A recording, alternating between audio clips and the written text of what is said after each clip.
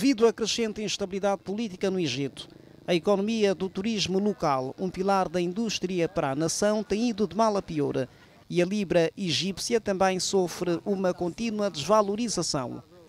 Em muitas cidades líbias, os egípcios reúnem-se em locais definidos com instrumentos de trabalho à espera de uma oportunidade de emprego.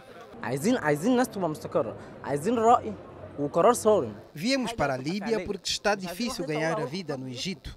Eu sou um carpinteiro e alguns dos meus companheiros são canalizadores. Nós podemos fazer mais dinheiro aqui, considerando que a taxa de câmbio atual é superior.